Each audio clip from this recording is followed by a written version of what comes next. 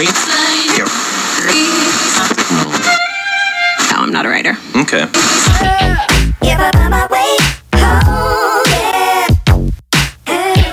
Wouldn't it be crazy? Oh, oh, but you still amaze me. Wouldn't it be crazy? But you still amaze me. Happy 50th to my sister. Finally. Finally, thank God you're in the 50s club. She couldn't wait. She couldn't wait. She's so mad. You know how much I love you. I'm always there for you, and everybody here loves you because this is a room full of love. Birthday. I like to say that you played such an important role in my life. Um, you're not you're not really blood family, but you become blood family. Um, of course, Joe has become, so has Linda, not Linda, Mia. Um, and it's just so beautiful. You're really like my family. Um, I like to end it off with a special quote uh, that reminds me of you, and it's called "Fuck you, you fucking fuck." Happy baby. Let's fucking roll. Let's roll. Basically, you are really the glue that holds our family together. I've never, when I ever have a problem, I don't hesitate to tell you. I don't hesitate to ask you for advice, tell you something stupid, the stupidest thing I've ever done. I'll run to you first. I know that you're not going to judge me, and that's the most important part. You're, you're so full of love and generosity, and I'm sure everyone in here knows that. Um, we love you so much. There aren't words to describe that. I mean, me and JoJo may not always show that, but we love you more than anything. You're our favorite. You're my favorite person. I mean, I I don't know anyone else who I love more in the world than you. So I'm gonna give the mic to JoJo.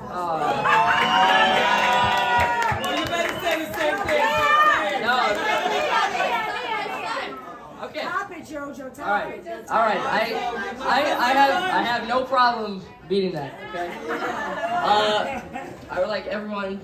I would like to thank everybody for coming out for her 25th birthday.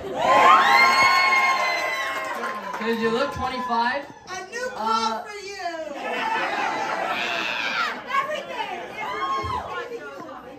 Uh, you look so, so beautiful. So beautiful. You're so sweet sometimes. I couldn't ask for a, a better mother. Maybe better jokes sometimes. You could be a little funnier. But, uh, yeah, couldn't ask for a better mother, better best friend, better companion. So, I love you. I think my wife kind of nailed that with how important it is that we're all together here for Linda, but more importantly, aging is a privilege, you know, and we're starting to recognize that more and more as we're getting fucking older, right? so, so, anyway, uh, I've had the privilege to know Linda for about 15 years, and it was very obvious at the very start how important she was to my wife and still remains to be such an important part to my wife and my family. And I can see, it's funny that some of the people in this room I probably served drinks to 30 years ago when I was a bartender. So, kind of amazing, a little bit of a full circle that we're all here together uh, decades later. So really, it's a it's, a privilege to be here amongst friends for many years, for New Year's, uh, recently, but more importantly, Linda, happy birthday. Uh, we really love you. I'm sure everyone knows how important you are to us. So, happy birthday. We're gonna sing happy birthday to Linda nice and loud. One, two, and three.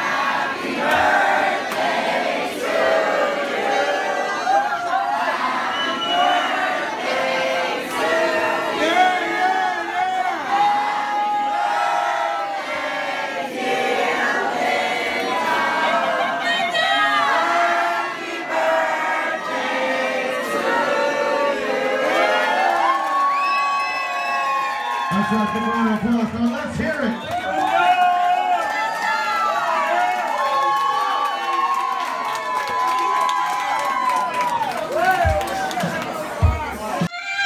No, I'm not a writer. Okay.